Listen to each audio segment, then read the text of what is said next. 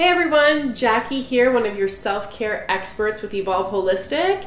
And today I'm going to talk to you guys about the concept of eating with the seasons, eating seasonally. And what really made me think about this concept was when I had the opportunity to go to the Canadian Organic Food Growers Conference a couple years ago, there was a woman in the audience that asked the question How do I find the best organic strawberries in the winter? She really wanted to give her kids these strawberries. And the woman that presented gave her the most simple, basic answer don't buy strawberries in the winter. What a concept!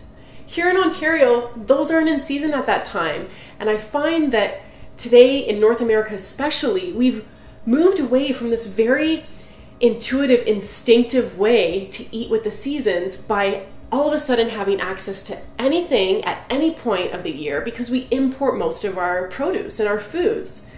So, what I want to talk to you guys about is the importance of stopping and thinking about what you're eating within the seasons. And the reason why this is important is because of factors like the weather and climate and geographic location, our bodies change the way that they function within these seasons. And so, from a, a, digestive standpoint, it's also really important to tune into this. And again, the more local and fresh produce that we can be providing for ourselves, the better for everyone.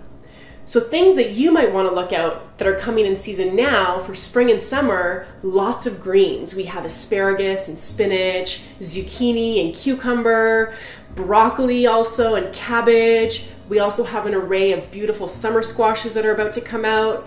And then don't even get me started on the fruit. Fruit in the summertime is the thing to be eating in Ontario.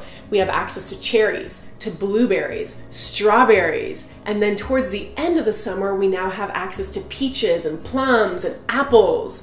So, my advice to you guys is don't just eat anything that's at the grocery store just because it's there for you to choose from. Stop and think where does this produce come from? Is it in season? And how is it going to affect my body as I eat and digest it?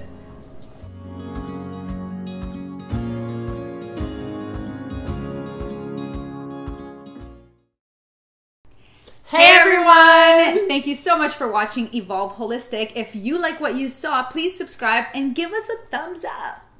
We offer tons of classes and workshops as well as destination wellness retreats.